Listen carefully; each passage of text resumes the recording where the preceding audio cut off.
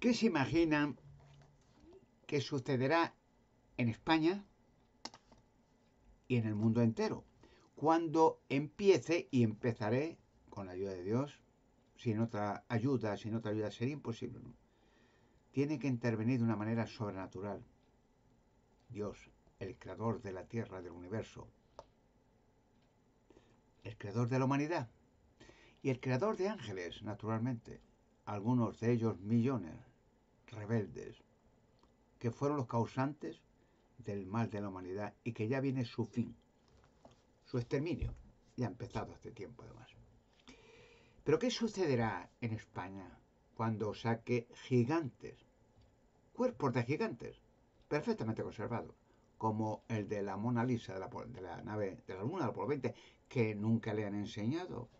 Sí, algunos, un astronauta, casualmente, pues dentro del módulo lunar, cuando la traían de la nave del Apolo 20, la sacaron con muchas más cosas.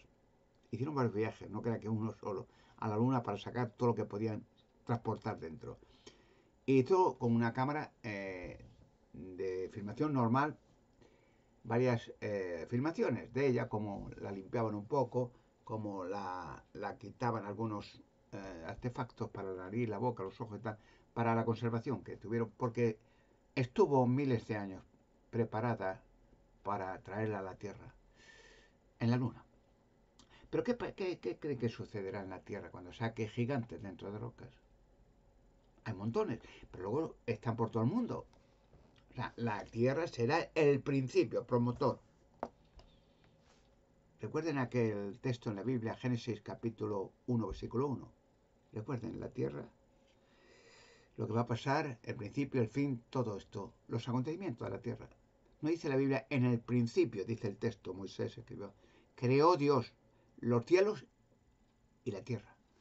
Habla de la tierra, todo el Génesis y toda la Biblia de la tierra, de los males que estos ángeles rebeldes acontecieron, la rebelión de un querubín rebelde engañó a Adán y Eva y luego a todo el mundo, el dios de este sistema de cosas, un ser demoníaco y millones de ángeles. O sea, todo este, eh, digamos, desmadre que ha ocurrido a lo largo de miles de años ya tiene fecha de caducidad. O sea, ya tiene una fecha donde Dios interviene y derrumba todo el sistema satánico, todo el sistema satánico. O sea, no solamente los causantes, los demonios, que ya están siendo eliminados hace tiempo, sino todo. Y sus sociedades, hay muchas sociedades, son, se tienen muchos nombres, no, no, van, no van a decir los satanistas de no, no, logias, ocultistas, digamos, eh, Vaticano, ¿sabes?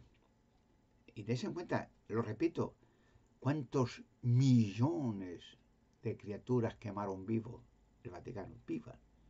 Y lo que la gente no sabe, las cruzadas, los templarios, eh, digamos, los quemaron también, los robaron todo, iban robando todo y quemando gente. Los indios sudamericanos, millones desaparecieron, millones. Las cruzadas, quemados vivos, torturados. ¿No es diabólico, no es demoníaco o es sagrado?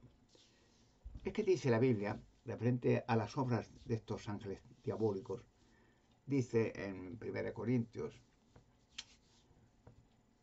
en 2 Corintios también, repite, Pablo habla mucho de cómo funciona el sistema satánico, donde dice que Satanás, dice el texto, se transforma en ángel de luz, y sus ministros, dice el texto, se transforman en ministros de justicia, pero el final será según sus obras. Hay mucha gente que es satánica en extremo, pero oh, da presencia ante la, eh, digamos, ante la, la, cara mundial como benefactores. Son gente que dona dinero a este, al otro, mucho dinero. Qué, qué, qué generoso, narices. Qué diabólico. Porque financian a este y al otro que está a la contra. No ser uno, individuales naciones enteras, que en conflictos unos contra otros se maten unos a otros. Las guerras, las cruzadas, las divisiones de, de, los partidos, digamos, las divisiones religiosas, guerras religiosas, satánicos, todo tiene un, un, un halo religioso, ¿no? ¿Eh? Las sectas satánicas, el, ah, eh, digamos, la financiación de millones de niños abortados. ¿Saben los niños? Los niños, niñas, ¿saben? ¿Qué se hace con ellos? Los abortos. No, es que, es que es una ley que la ley dice, ¿la ley de quién? ¿De Dios? ¿O la de los hombres? Financian el aborto. Que si el aborto significa una mujer por razones, una cosa es el accidente, eso es natural. Accidente, la madre está herida y el niño en brazos, pues ¿qué hacemos? El niño va, a salir mal y la madre muere si no está. Son accidentes que es natural cuidar de la madre, pero no provocados. Es decir, que gente que millones, vamos, se, se calculan todos 200, 200 millones al año de criaturas muertas, quemadas vivas. Pero la gente no piensa, no, es que es una ley que han aprobado, ¿no? Eso, pero digo, la ley de Dios o, o de los hombres. ¿Quién ha apoyado la, financiación del aborto? A que no, anónimos, gente que ama mucho a la humanidad, ¿no? Para, eh, una razón es para que la humanidad no se propague, no se multiplique, sino a ver otra, bueno, es que, es que es normal, si la mujer no puede sostener al niño porque, porque la familia en condiciones, o sea, dan cualquier excusa para asesinar y quemar, quemar, como la Inquisición, quemando millones, millones de niños quemados. Porque los niños, cuando se aborta, se hace una operación de matar al niño, sacando, haciendo que la mujer aborte de esta manera, y cuando sale el niño, una inyección y a un horno, quemado, literalmente. Criaturas hechas a la imagen y semejanza de Dios.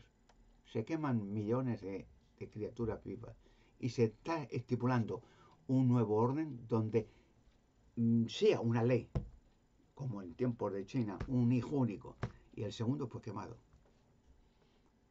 Gordo, ¿cómo se nota que ya Satanás tiene sus días contados? Pero voy a contar el final. ¿Dónde, ¿Sabes dónde va a empezar? En España.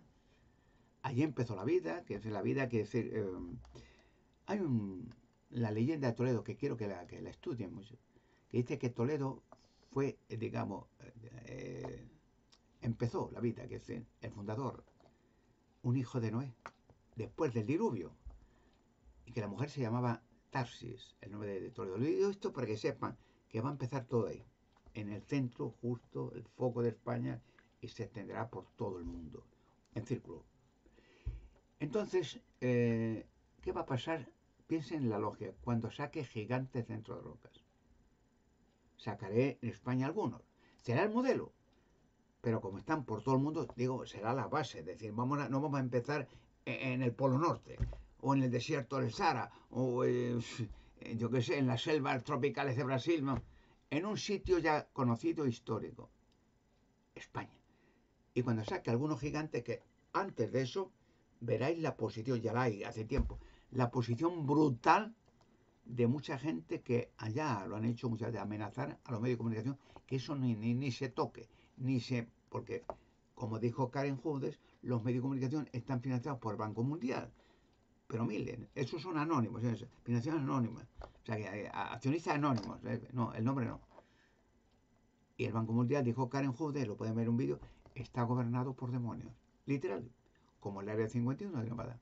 Por demonios. Literales, lo han visto piensen en internet, uno que se asustó, se horrorizó, se llamaba Bob Lazar. Bob Lazar. Era un ingeniero de estos trabajadores, pero que, que cuando vio la realidad que eran demonios materializados, como dijo Karen Hood en el Banco Mundial, y le echaron, amenazado hasta de muerte, Bob Lazar.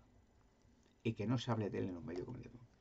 ¿Qué va a pasar, gigante? ¿Y qué va a pasar con dinosaurios? Dinosaurios en túneles. ¿Qué va a pasar? ¿Y qué va a pasar cuando saque la cueva de Hércules? Un cronovisor que ahí puede usted preguntar lo que quiera. Es un cronovisor como se está haciendo para ver en, él como una máquina, como un ordenador, vamos a ponerlo en términos muy vulgares. Un ordenador usted marca, por ejemplo, un programa, oiga, por favor, yo tengo un programa de eso, de, oiga, por favor, y salgan imágenes del asesinato de Kennedy en Dallas.